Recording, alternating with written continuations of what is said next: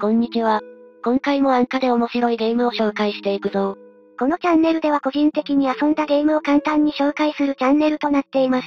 3000円前後で買えるゲームを中心に紹介しています。今後も様々なゲームを紹介していきますので気になる方はチャンネル登録よろしくお願いします。さて今回紹介したいゲームはタイムライです。女の子と猫ちゃんを動かして、不思議な施設から脱出するパズルゲームです。演出とパズルの難易度が素晴らしく、完成されたゲームだと思います。この後もう少しだけ詳しく紹介していきますね。開発元はユニークスタジオ。タイを拠点とするゲーム開発やソフトウェア開発するスタジオみたいです。現在はまだタイムラインのみですが、今後の開発に期待しましょう。最近は新規のゲームスタジオさんで、面白いゲームが出てくることが多い気がします。スチームの接続が最近とても増えているのも、新規にゲーム開発参入する理由なのかもしれませんね。ゲーマーとしてはとても嬉しいこと。一番の問題は時間が足らないことです。スチームの接続数について、2020年3月21日のスチーム同時接続数は2100万人となっていました。そして2021年3月15日のデータです。同時接続が2600万人到達してるじゃありませんか。さらに嬉しいことに、これは2021年2月のデータでどの国の言葉で接続しているかの数値ですが、日本語での接続が増えているんですね。これは日本人のパソコンゲーマーが増えていると言っても過言ではないでしょう。今後ももっと増えていくと私は予想します。そうなるとパソコンでのゲーム開発を視野に入れたスタジオさんが増えていくのも納得であります。日本人のパソコンゲーマーがさらに増えると、日本語にローカライズしてくれるゲームがもっと増えるかもしれません。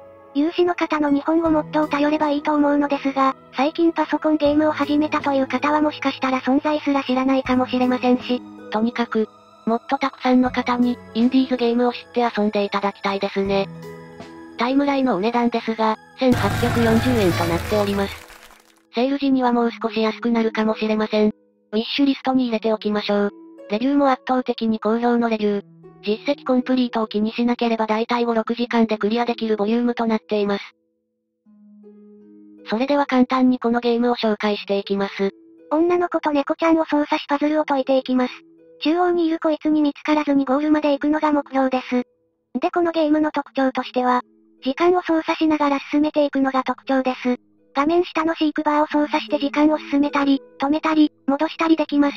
キャラの移動方法は、地面に丸い点がついてると思いますが、そこをクリックすると進んでくれます。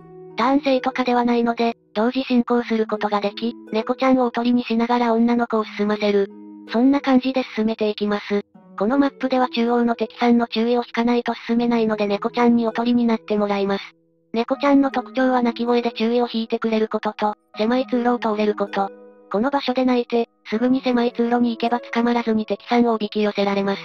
危なくなったら時間を止めて、どこに逃げればいいかなどじっくり考えながらできるので焦らずできます。これで女の子が通れるようになったのでドアまで進みましょう。もし見つかったとしても大丈夫。時間を元に戻せばいいだけです。これは個人的におすすめポイントなんですが、やられてゲームオーバーがないのはテンポが良くておすすめです。こういったパズルゲームは初見でクリアするのは難しく、やられて試行錯誤してクリアしていきます。その度にロードして読み込みしていたら嫌になってしまいます。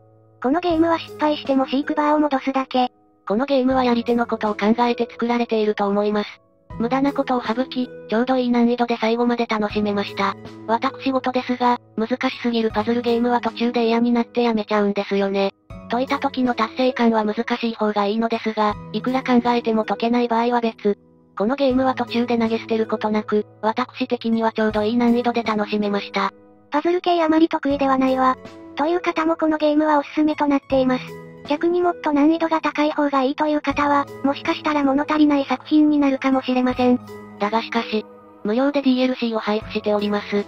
こちらは難易度高めのステージになっておりますので、パズルゲームが得意の方もおすすめとなっておりますぞ。女の子の特徴言い忘れていましたが、ボタン操作ができるのと、落ちた壁を直すことができます。扉を開けたりするのに端末を操作できるのは女の子だけです。そして青く光っている玉を手に入れることによって、特殊能力床を直すが発動できます。うまく時間を操作しながら同時進行していきパズルを解いていきましょう。この不思議な施設も気になりますよね。この場所はどんな場所なのかとか、猫ちゃんと女の子がこの先どうなるのか、ぜひご自身でプレイして遊んでくださいね。このステージ以外にも録画したのですが、考えてパズルを解くのが楽しいこのゲームをこれ以上ネタバレしたくないので、今回は短いですがここまでといたします。次回の作品は安価で紹介作品ではなく、私の推しゲームの動画になります。それでは次回の作品でまたお会いしましょう。